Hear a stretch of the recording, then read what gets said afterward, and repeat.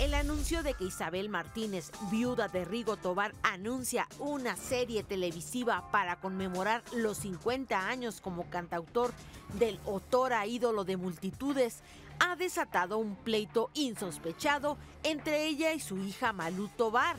La joven rompe el silencio para señalar a su propia madre de negociar la venta de los derechos de dicha serie a espaldas de ella y de los otros cuatro herederos de Rigo.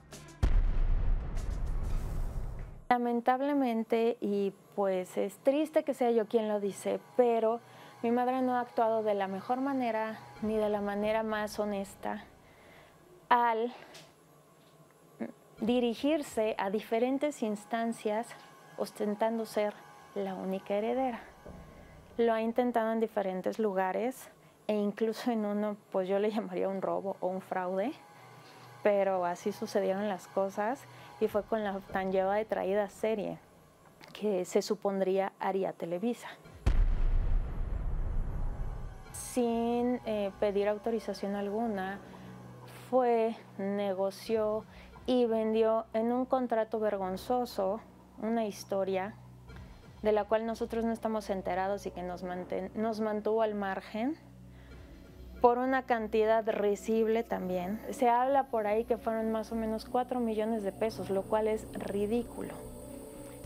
No por la cantidad, y esta es una parte importante, nosotros no queremos o no estamos buscando el dinero, cantidades estratosféricas, pero lo que sí vemos y hemos escuchado es que esa es una constante en su modo de actuar.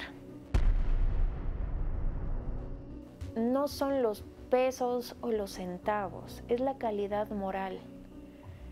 Mm, por ejemplo, si yo sé que no me corresponde algo, no lo tomo.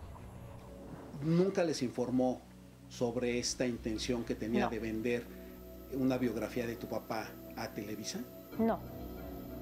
No, definitivamente no, por ningún medio, de ninguna manera y pues nos preguntábamos, ¿qué pasa? Eh, de pronto en alguna ocasión llegó a argumentar, es que ustedes no preguntan nada. Es como muy complicado llegar y preguntar algo que realmente no sabes. Mira, es que no es cómo se ven los derechos en cuestión a la vida de mi papá. Aquí es claro.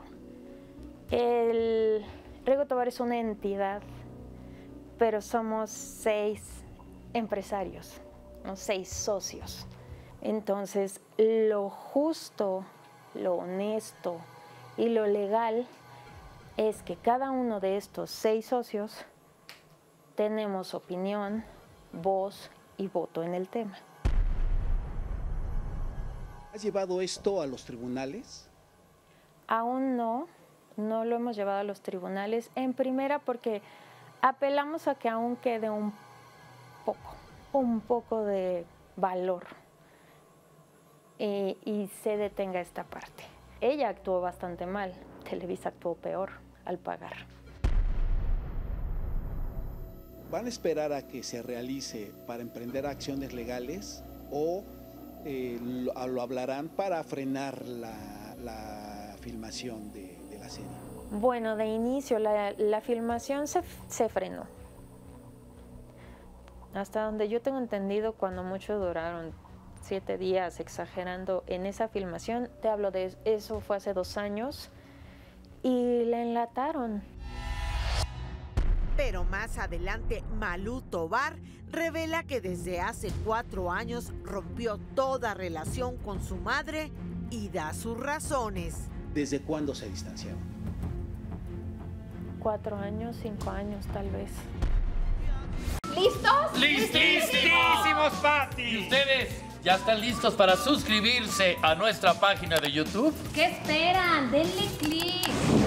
Va a haber todos los programas de Ventaneando completitos. Así es, las notas del día, contenido exclusivo, solo aquí en Ventaneando. ¡Los, esperamos allí!